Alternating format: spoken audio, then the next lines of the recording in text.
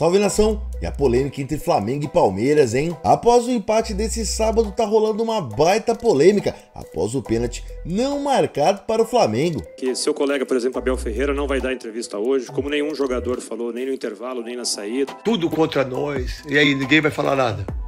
Então, pênalti claríssimo pro Flamengo. Fica aí até o final do vídeo que vamos te mostrar tudo isso com todos os detalhes. Flamengo e Palmeiras empataram em 1 a 1 com gol do Dudu e Arrascaeta. E após o jogo, o craque flamenguista falou com a imprensa. Sim, o Palmeiras aproveitou muito bem o primeiro tempo, eh, nos criou muitas situações.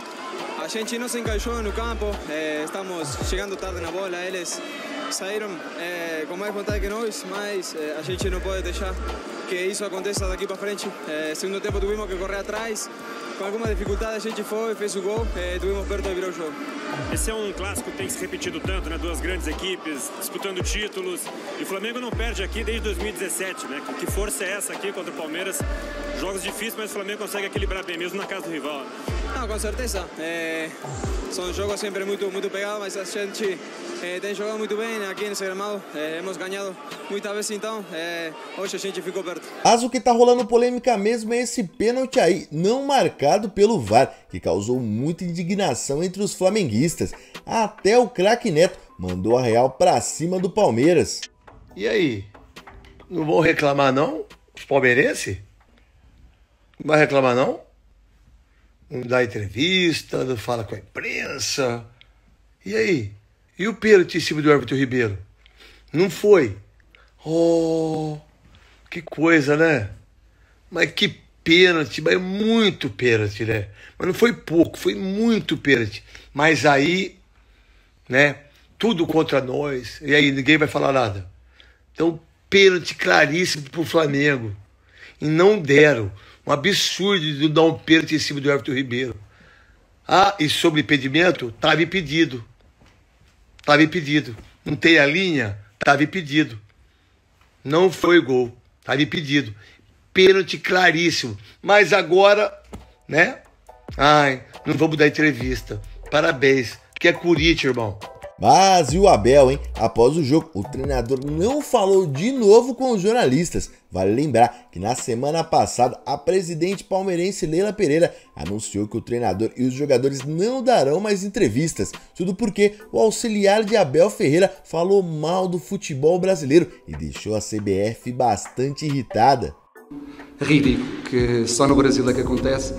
Uh, e é por acaso que este futebol lá fora tem pouca credibilidade. E não é por falta de qualidade dos jogadores, por qualidade, é por uh, falta de transparência neste futebol. E escusam de mandar areias para os olhos, podem-nos continuar a expulsar, nós vamos lutar até à última gota de suor. Ainda segundo informação do site Globoesporte.com, o Flamengo vai à CBF reclamar da arbitragem do empate com o Palmeiras. A diretoria contesta o possível pênalti em Everton Ribeiro e principalmente erro de protocolo no gol anulado do Rony. Na coletiva, o técnico do Flamengo, Jorge Sampaoli, também falou sobre os lances polêmicos da partida. Queria te perguntar se você sentiu no ambiente do jogo, algum termo de pressão, de arbitragem, porque seu colega, por exemplo, Abel Ferreira, não vai dar entrevista hoje, como nenhum jogador falou, nem no intervalo, nem na saída.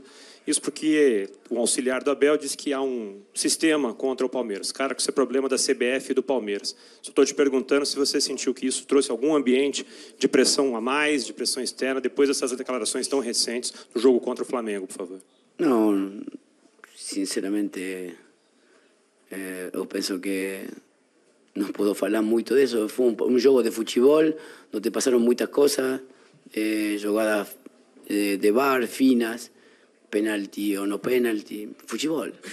Então, de mi, de mi lado, lo único que me incomodó en un campo fue el gas pimienta que, que me afectó el hoyo. No, además, yo desde mi lugar falo siempre de que eh, el futebol eh, te da, te quita, normal. E aí, nação, o que, que vocês acharam da polêmica no clássico entre Palmeiras e Flamengo? Vocês acham mesmo que o Flamengo foi prejudicado? O Palmeiras, que reclamou durante toda a semana, agora tá vendo toda a reclamação voltar contra a sua equipe. Vocês acham que é besteira da Leila Pereira não deixar os jogadores e o treinador palmeirense falar com a imprensa? O que, vocês estão achando tudo isso? É briga de ego entre Flamengo e Palmeiras? O Flamengo tava tranquilo até então e agora tá reclamando da arbitragem arbitragem após o jogo. O que vocês acham que vai acontecer com essas duas equipes, hein?